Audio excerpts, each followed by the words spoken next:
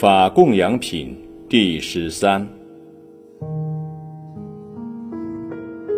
这时，天地释提桓因在与会大众中对佛说：“世尊，我虽然从你这里及文殊菩萨那里听闻过百千部经典，但从来未曾听过像这部如此不可思议、自在神通。”究竟表现实相的经典，按照我理解的佛法意趣，如果众生听闻此经，并能够深刻理解、信受、奉持、读诵它，他必定能够得到此经所说的不可思议解脱法门。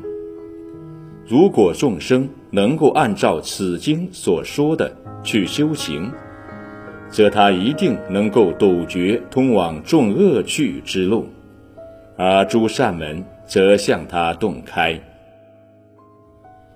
他就能得到诸佛之护佑，他必定能摧伏诸外道，降服诸烦恼惑障，得到无上觉悟，安处于道场，走上成佛之路。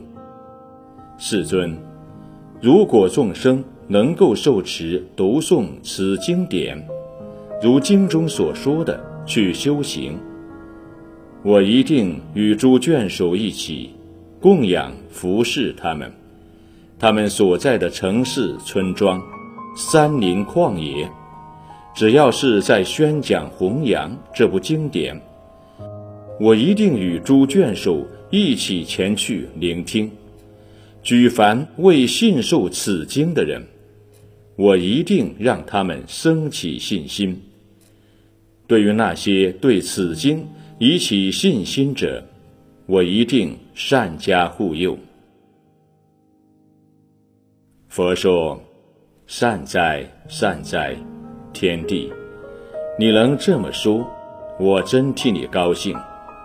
确实，此经广说过去。”未来、现在诸佛不可思议无上正等正觉，所以天地如果有善男子、善女人受持读诵供养这部经典者，这是供养过去、现在、未来三世诸佛。天地即使三千大千世界中，到处都有如来世尊。其数量之多，有如世间之甘蔗、竹苇、稻麻、丛林，数不胜数。如果有善男子、善女人，或者以一大劫，或者以近于一大劫那样长的时间去礼敬、赞叹、供养诸佛如来，一直供养到诸佛入灭后。又把他们的全身舍利用七层宝塔一一供养起来，这些宝塔都有四天下那么大，其高则直触梵天，每个宝塔都装饰得极其庄严富丽，遍满香花璎珞，床幡霁月，微妙无比。对这些宝塔又长期的加以供养。如果能够这样，天帝，你认为这种人的福德多不多呢？天帝释提桓因说：“世尊，这种人的福德确实非常之多，其福德即使说百千亿劫也说不尽。”佛告诉天帝：“应当知道，善男子、善女人。”如有听闻这部不可思议解脱经者，并能理解、信受、奉持、读诵和按经中所说去修行，那么其福德比上面所说的那种人还要多得多。为什么这样说呢？因为诸佛之觉悟，都是从这部经典之教义中产生出来的。而使人觉悟成佛的福德是不可限量的，正因这样，其福德是无量无边的。佛告诉天地，在过去无量无数劫前，当时世上有一佛，号药王如来，又称因供、正遍知、明行足、善事、世间解、无上士、调御丈夫、天人师、佛、世尊等。那个世界名叫大庄严世界，那个时代。叫庄严劫，其佛寿命长达二十小劫，他的声闻众弟子多达三十六亿亿，菩萨众多达十二亿。天地，当时有一位转轮圣王，名叫宝盖，他七宝具足，统治着四天下。此转轮圣王有上千个子女。都十分端庄勇健，能够降服各种魔怨仇敌。其实，宝盖王与其眷属们供养着那个药王如来，向他布施了他所需的一切，时间长达五大劫。五大劫以后，那宝盖王就对其子女们说：“你们也应该像我这样。”以深切恭敬之心供养于佛，那上千位王子就遵照父命，供养于药王如来，供给其一切所需，又满五大劫。其中有一位名叫月盖的王子，就独自在想：有没有什么供养比这种供养更为殊胜的？借助于佛威神之力，忽然空中有天神说：“善男子，法之供养胜过其他一切供养。”月盖王子就问：“什么叫做法供养？”那天神答道：“这你可以去问药王如来，他会为你详细解说什么叫做法供养。”月盖王子立刻就去了药王如来那里，顶礼佛足后，退到了一边，对佛说：“世尊，主供养中，法供养最为殊胜。那么，请问什么叫做法供养？”佛说：“善男子，所谓法供养，就是诸佛所说的那些义理深刻的经典，其思想。”广博深奥，世俗之人较难以理解，较难生起信心；其中之微妙意蕴，也较难被揭示出来。其教法又清净无垢，并不是世俗之分别思维所能把握的。这些教法乃包含在菩萨法藏之中。是由总持一切法门之实相法印所印证，修习这经典的菩萨，都已达到不退转的八地以上，都已成就了六波罗蜜，善于识别经中深刻的义理。这种深经的义理，随顺菩提之法，地位在众经之上。修习此经。能够升起大慈悲心，远离众魔障及诸邪见。此经之义理与因缘法相符契，主张无我相、无人相、无众生相、无寿命相，倡导空、无相、无作、无起诸解脱门，能令众生修习有所成就。坐于道场而转法轮，为天龙神乾闼婆等八部众所赞叹称誉，能令众生入于佛法宝藏，获得菩萨、阿罗汉等圣贤之一切智慧。宣说诸菩萨所行之道，能随顺于实相之本意，昭示无常。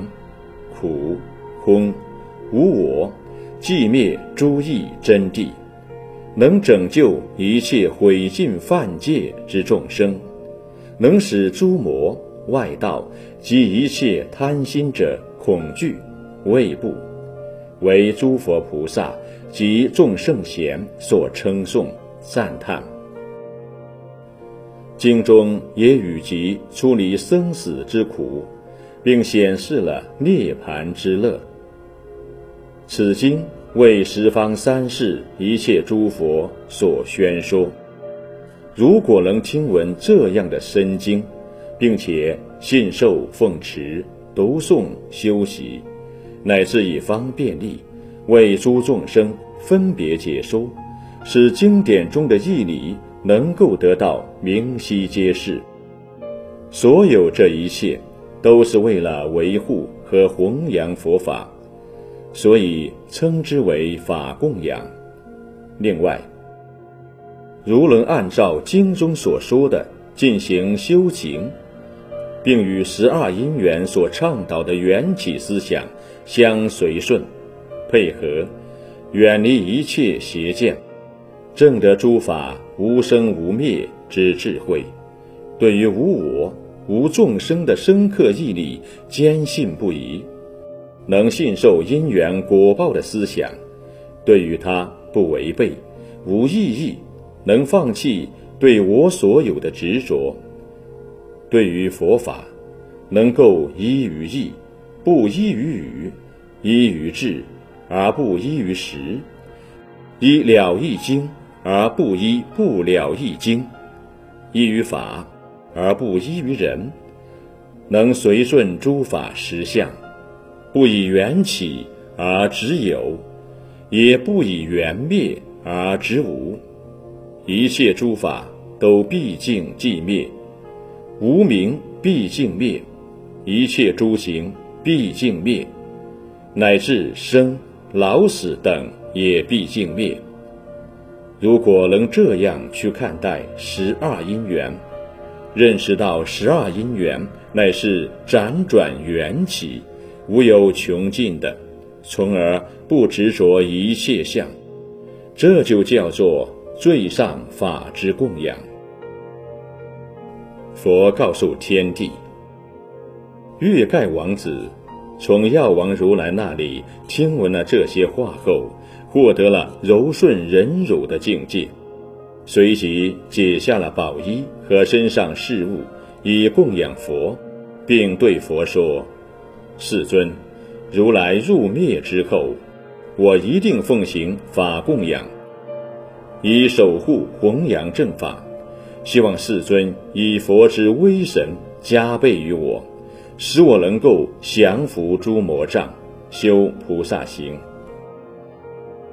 药王如来深知月盖天子此恳求至诚至切，遂与之受记，说：“你将在今后的佛教末法时代，成为维护弘扬佛法之法将。”